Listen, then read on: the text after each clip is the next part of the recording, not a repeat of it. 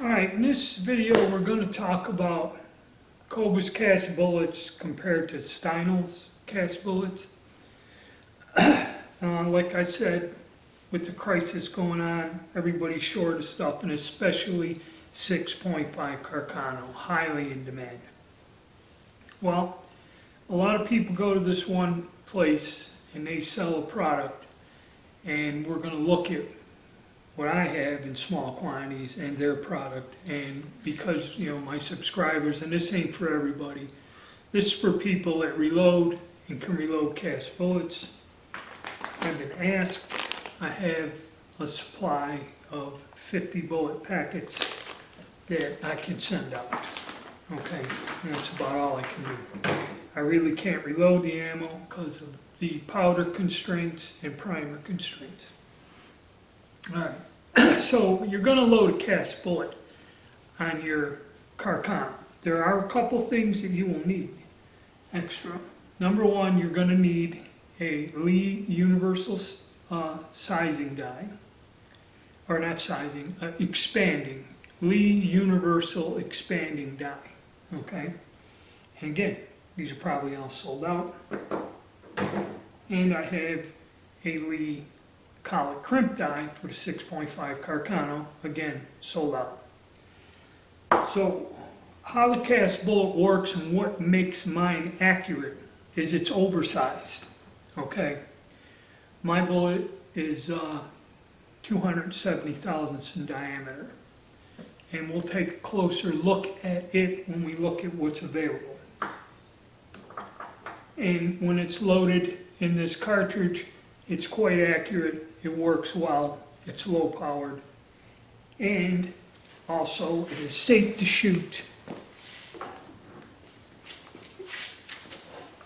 In these old Italian Vetterli rifles, and just so you know, when we start looking at what the competition has, I'm going to take one of my cast bullets and do the infamous bullet test on this old gun. And as you see, okay, my bullet is engaging the bore. So, I'll get the camera turned around, look at what's out on line, tell you what I got, and it's very limited, whatever. It'll all be explained in detail on the MeWe page.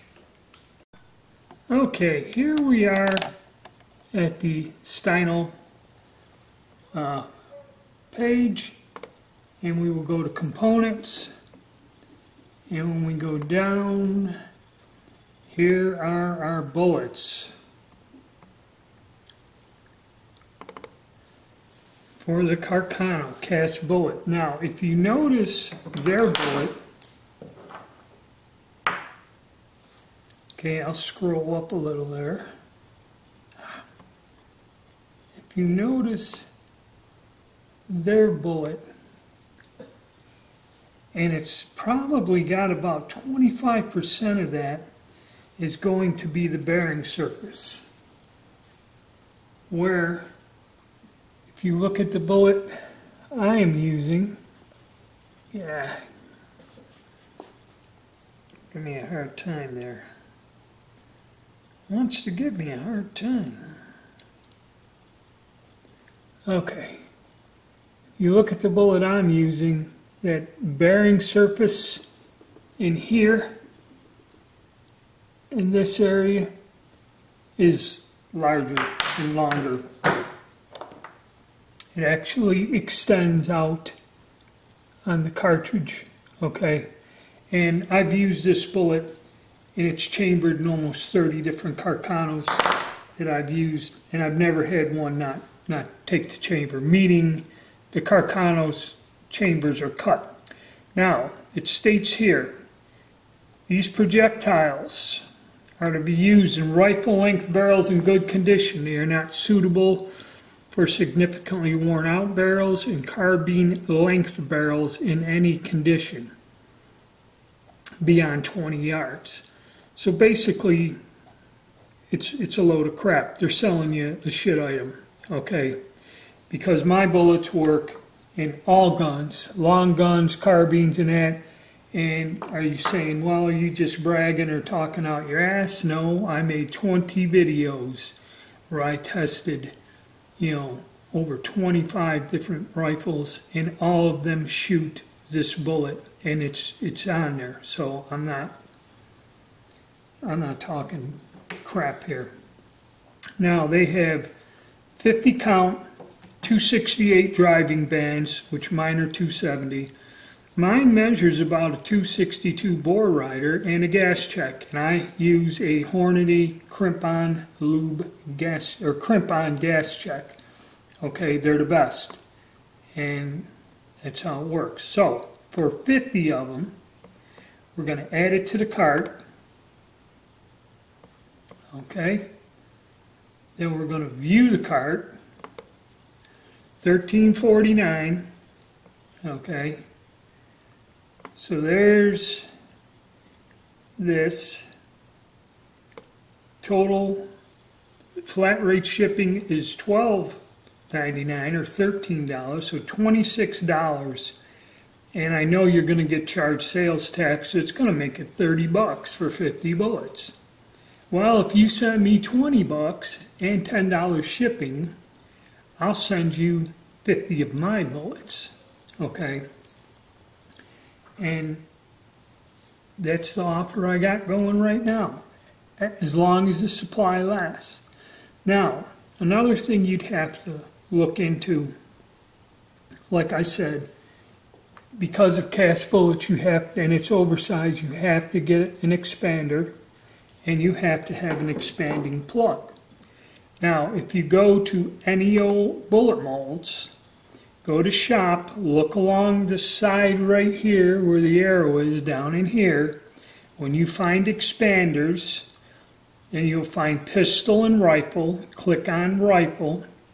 And then when you go, what you want is the expanding plug 270 by 266. This one here. It costs $6.50, but you do have to have the Lee uh, expanding die.